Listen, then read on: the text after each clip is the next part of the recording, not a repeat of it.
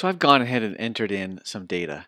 So I have a variable called meals and it is a, an array of type meal. And you can see the array starts here and ends here. And I have three meal instances here. And I use my meal struct. And I have, remember the meal struct has a name and an array of food items.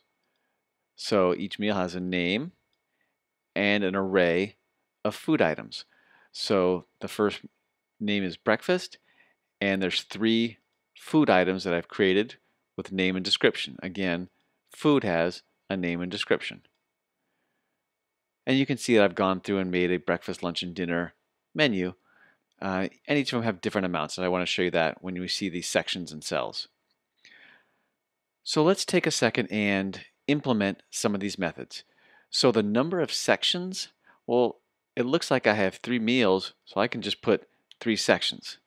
But the problem with that is, what if some, maybe I have a, a another meal in here sometime, like a mid-morning snack, then I'd have to make sure to change this. So the better way to do that is I'm going to return the meals dot count. This property will tell me exactly how many items are in this meals array, and that will be how many sections I want. Next is the number of rows in section. So how many rows are in each section?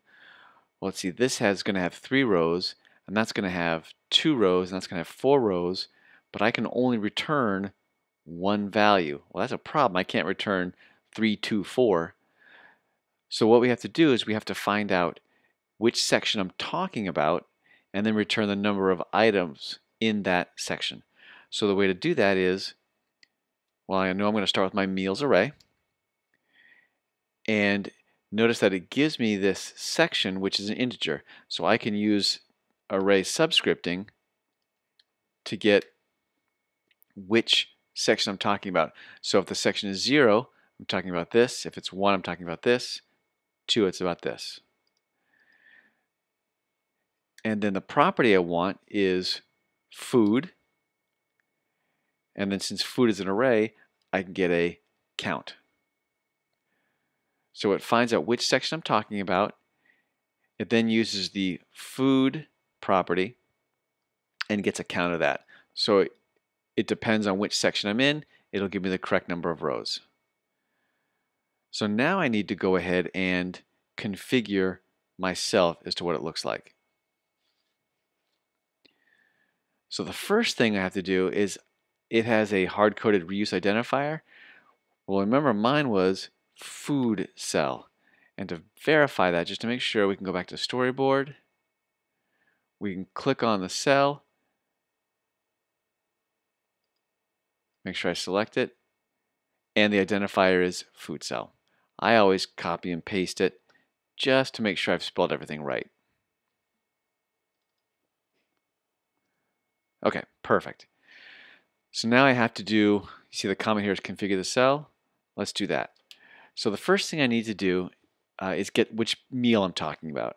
So I'm going to say let meal equal meals, which is my array. And then you see this index path. Index path is a property that lets me get each row and section. So I'm going to start with index path dot section.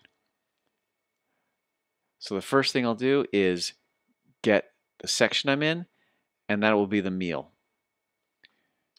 And then I need to know which food item I'm, sorry, let, I need to know, need to know exactly which food item I'm talking about. So I'm going to start with my meal, and then, whoops, yeah, equal meal, the meal I just got from the line above, and I'm going to use the food property. And since it's an array, I can use subscripting. And which one do I want? Well, it depends on what row I'm looking at. So I can also use index path to get the row. So you see a lot of index path sections and index path rows when you're dealing with tables. So now I have the meal I'm looking at. I have the specific food item I'm looking at. Now I have to tell my cell to print that. So I'm going to start with cell which is defined here. So it's the cell at the particular one I'm looking at. And I want the text label of that cell. And it's an optional, so I'm going to put in the question mark to make it an optional. I'm going to let the text of it equal food dot name.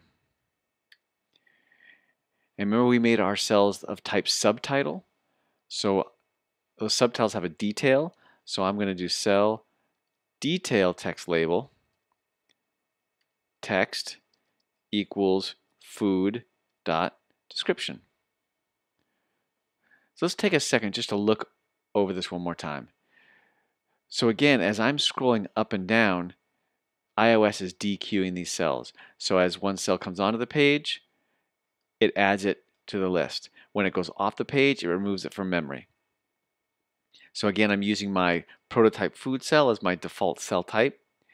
And I'm getting the current section and letting that be which meal I'm talking about. Then once I've picked the section, I say, well, what food am I talking about? So let's say it was breakfast. This would be row 0, 1, and 2, and it puts the appropriate name and description in that particular cell. So let's go ahead and run this and see what that looks like.